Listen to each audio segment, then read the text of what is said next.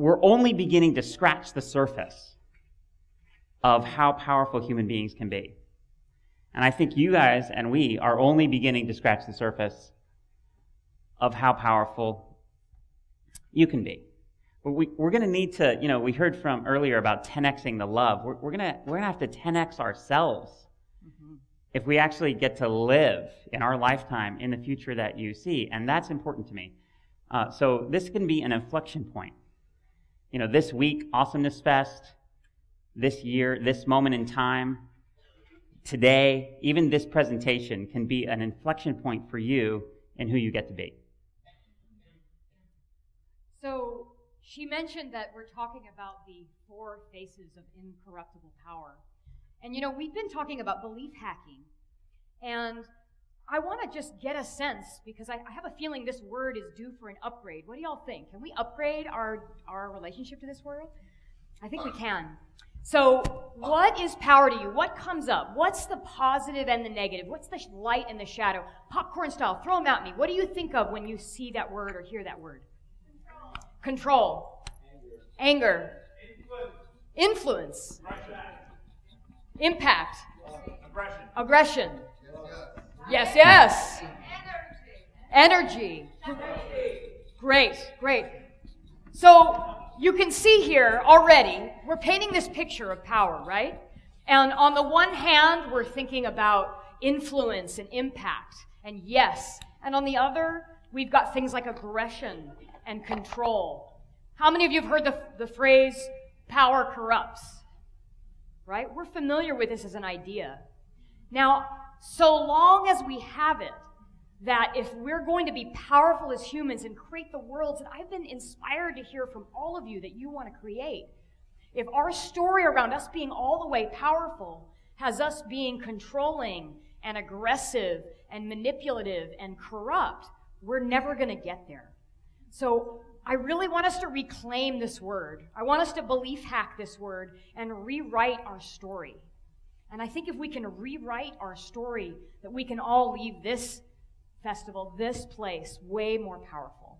And it's one of the things I'm most inspired to do with, especially with women. You know, when I talk uh, to women and, and they tell me about what it's like when they're powerful, some of the negative stereotypes come up, like um, bitch. We get called bitch, right? Which is a woman who's too assertive, mm-hmm. right? Or maybe we get called slut, a woman who is owning her sexual power a little too much, right? Or maybe even we're called a witch. I was called a witch today, which I found as a compliment. I like that. I own that. but a lot of us have witch. I mean, we bird those, those women, right? And so that cultural bias is in us. We're wary of that whole idea of power. We haven't made it safe to be powerful. And so I ask you, what if we could have a definition of power? What if we could belief hack this word today and create a definition of power that was incorruptible? Right? So, what is incorruptible power? I said we're talking about the four faces of power. What I mean by incorruptible is power that's fueled at its very essence by what I would call a transcendent value. Right? And a transcendent value is a value that if you multiplied it across all time, across all people, everybody wins. Right? So if there was more love in the world and you took that on as your mission, and your mission, I'm going to create more love in the world every way I can think of. Nobody loses. The world is a better place. You know, compassion is a transcendent value, right? Freedom is a transcendent value. And so we have these transcendent values. And the moment that we can be aligned behind a value like this, we can start to unleash our power. We can turn power and transform it into something that's corruptible to something that's trustable. We can turn it from something that takes our culture off track to something that is our compass for where we're on track. And that's what we want to do with you guys today. Mm-hmm. We want you to grab on and understand that there is a version of power that's incorruptible. That it's things like selfishness and greed and manipulation that corrupt, not power. Mm-hmm. Because I know every one of you is incredibly powerful. You know, you are literally creating this universe that you are inside of every day. And so if you recognize the incredible power that you have inside you and you go off, then I know that we're going to live in a better world. So we have a model. But before we get to that, Yeah. I, you know, uh, one thing you guys may not know about us, we've we've helped seven companies grow, not just to uh, you know 10 million or 100 million, but to a billion dollars in revenue. So, we've, as the coach of the CEO or management team of companies like LinkedIn, we worked with Apple, Microsoft, LSI, Cisco. Uh, over the last 15 years in Silicon Valley, we worked with basically the most powerful leaders of innovative technology. And so we've seen a lot of versions of power. And the way that we've been able to help these companies grow so successfully so often is by giving the most power to the people with the best values. Not even necessarily the best ideas, but the best values, those transcendent values. And so we want to give you guys the most power. Because in meeting you and spending time with you in these last few days, we love what you love. So this is our, our bid for you to become more powerful and, and to demystify it by showing you how actually your po- pro, power profile can, can work. Yeah, so we have a model. and it's a really innovative model that is easy to remember.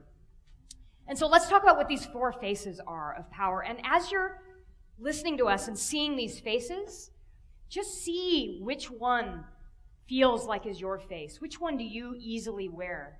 And look at which ones feel to you like you have more nervousness, that you feel more resistance putting on. Now, in my view of power, I, I see it as kind of a, a, a, an aspect of archetypal energy.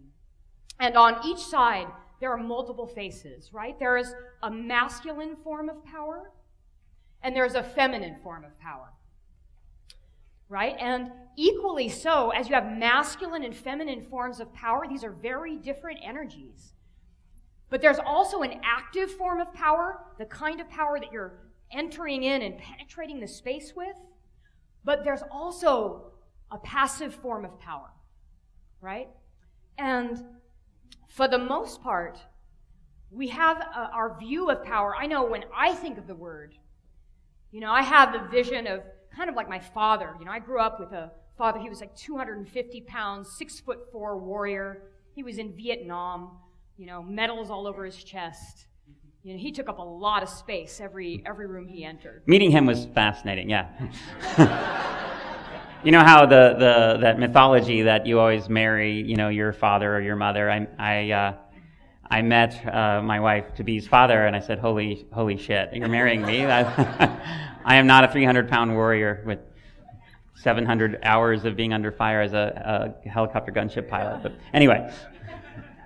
So, you know, and, and when we normally think about power, I think we think about this active masculine form of power. And the active masculine form of power is just think of these as archetypal energies, but it's penetration, right? And, and an active masculine form of power, you feel their values. They penetrate the space with who they are and what they think and what should feel this way and what should go that way, right? And it's a big energy and it really is penetrative. You know, when I saw Lisa Nichols, were you all at Lisa? Did you love her? Yeah. Yes, yes. Now, there's a feminine example of penetration. Didn't you feel her values just penetrating you? Yeah. Now that's a that's a penetrative woman, right?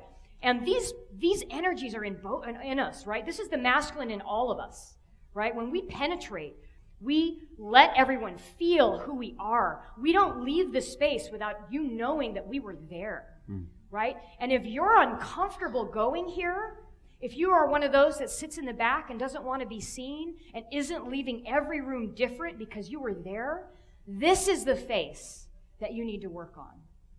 Right? So this is your face. Mm-hmm. And I want to help you work on that. I want to help you stand up and penetrate every space you're in with your aesthetic for what the world should be. Because I know I'll be better off. And here's a picture of me with a sword. For some of you, I really resonate with the active masculine. I, I used to study eight forms of martial arts. So she's alive and well in me, that warrior essence, right? So who's not afraid to penetrate the space with who I am and what I think and what I feel. And she's being modest. Study means she's a brown belt in eight forms of martial arts simultaneously. so that's active masculine.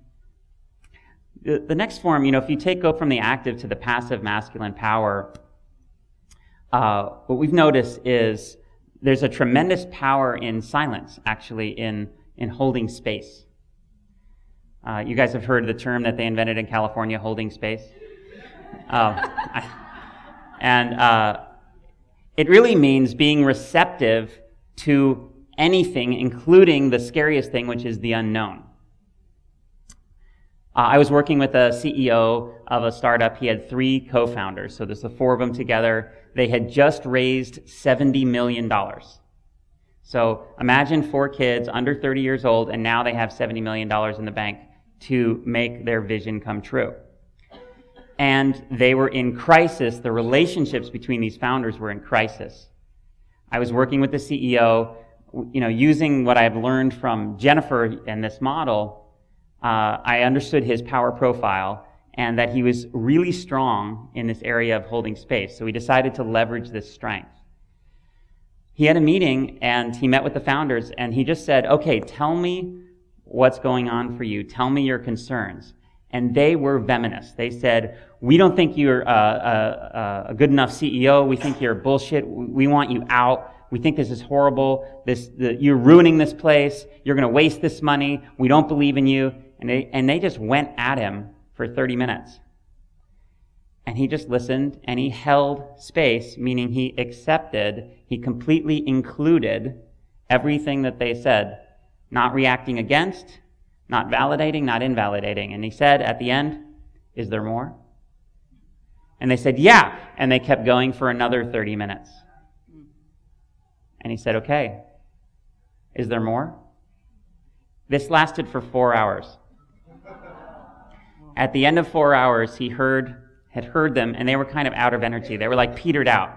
They'd talked themselves out, right? They were like, Ugh. and he said, "Is there more?" And they go, "No, I think that's that's it." and he said, um, "Well, I'll tell you what. I we we clearly need a CEO." And while it may be true that I'm not a good one or an adequate one, I've never done it before, neither have you, we don't at this point have another option. And the people that just gave us $70 million gave it to us with the assumption that I'd be leading. I think it would be more disruptive for us to change that than for us to move forward. So I'll make you a deal, he said. I promise to listen and incorporate everything you say into my decision making. And I promise that I'm going to be one, the one making the decision. So you have the option of sticking with me or leaving. And they still, those four people, are leading that company today. So that's an example of what, how you would hold space in a leadership context. Yeah, and if, just imagine that CEO that all he could do was penetrate the space and just say what he thought. Imagine if you were working in that company, how there was no room for what you felt. There was no room for your ideas. After a while, even though that CEO might have been very powerful at penetrating the space and speaking his mind, you would feel like less and less of you could even be inside of this company, right? So you really want to, to use the idea of passive and active forms of masculine power. You're leaving half your tools on the table when you don't learn how to not fill the space with everything that you have to say, but actually leave room for everyone that's with you to contribute and share and synergize, right? So that is a way more powerful way of being. And so when we meet people, we look, okay, which one of these faces is it hard for you to go to? And how do we help you develop the range and flexibility of a true, what I would call an integrated leader? I want all of you to leave as an integrated leader for your projects, for your companies. Can you all feel the, the, the penetration energy, the active masculine in you? Can you feel that? And can you located, yeah? You feel can, it? Can you also feel where you hold space? And you see how you're already, you prefer one to the other? You know, that your one is kind of your go-to? Balance is the key to becoming more powerful. So we've given you the masculine sides of power. But probably the thing I'm most passionate about is the feminine forms. Right? Let's hear it from the women.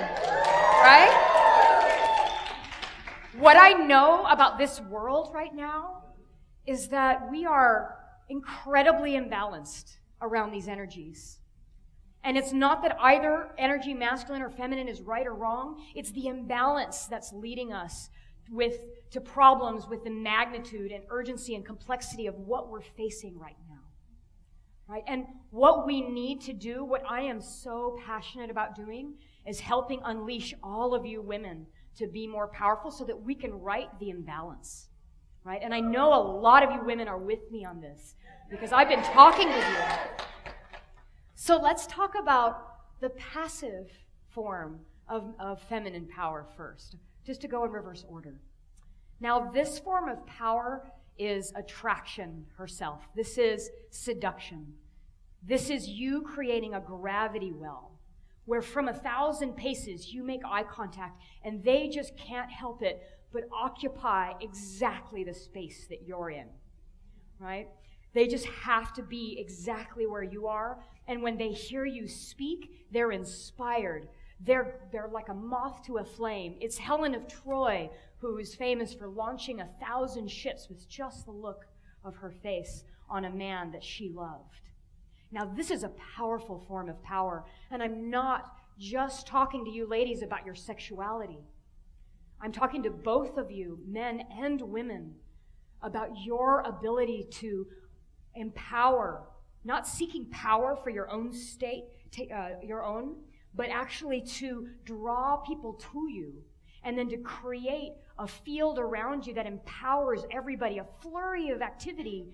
When you raise your hand and say, This is the vision I have, you have people from everywhere coming saying, I want to join your cause.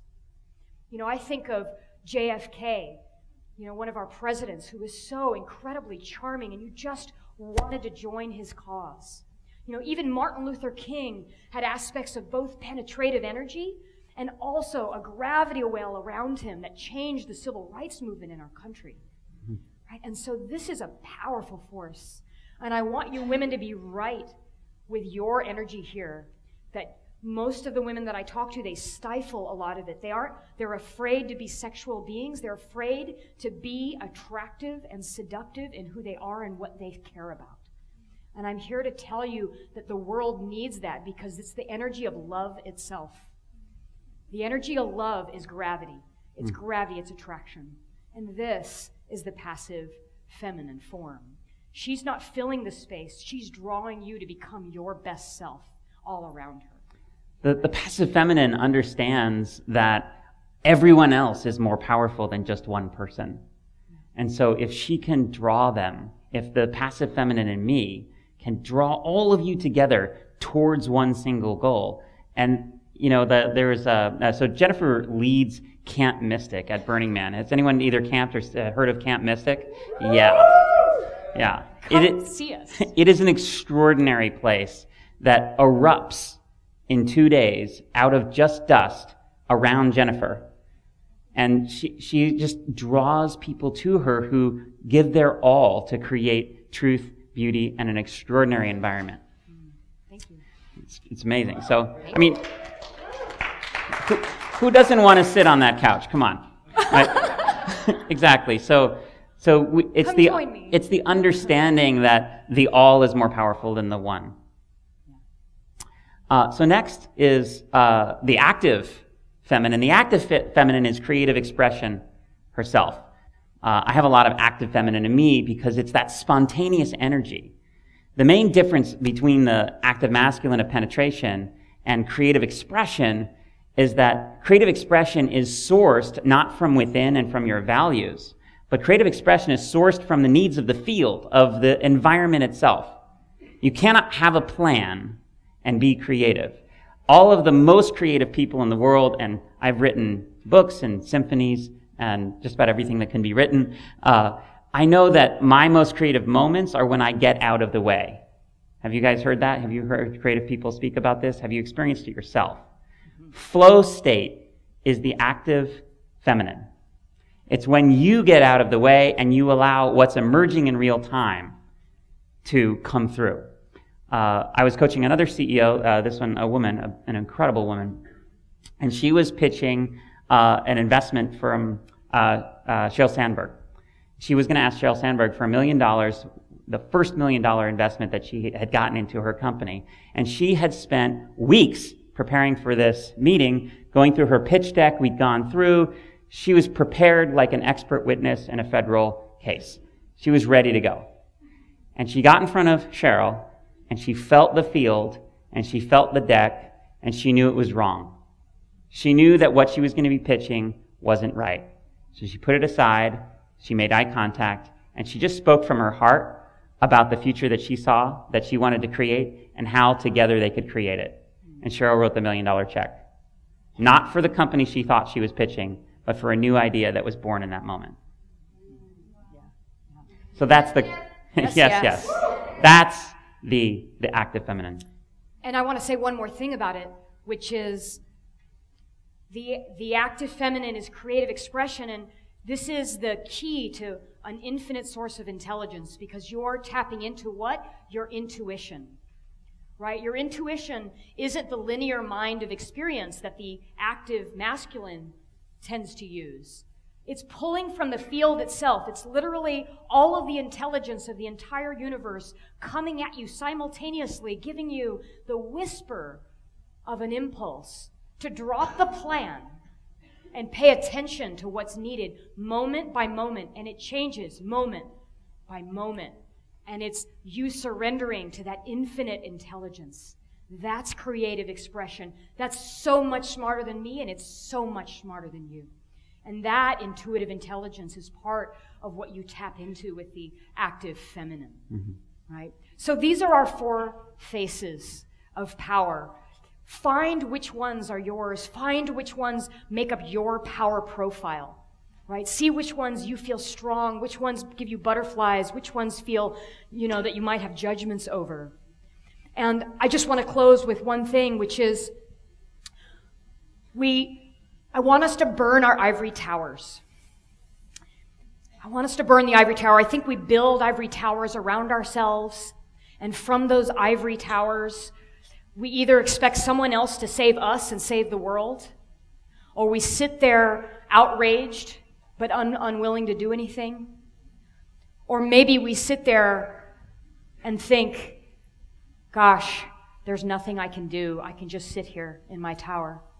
And if anything, if I leave you with anything, I want you to burn that ivory tower. I want you to come off that tower and realize your incredible power as a human being, that you are the universe that you formerly thought you were just inside of. You're creating that. You're creating every moment of it. And if you want to see the world that you see as possible, you won't find it there. You won't find your strength and bravery there in that tower. You have to descend into the tower and put your feet on the earth. And from the earth, from feeling it, from locating yourself exactly where the, the world's pain is, exactly where the world's beauty is, that will source the strength and energy and power that you need to create that world. And I, for one, am excited at seeing who you become, who we all become, when you become the most powerful version of you. Thank you. Thank you.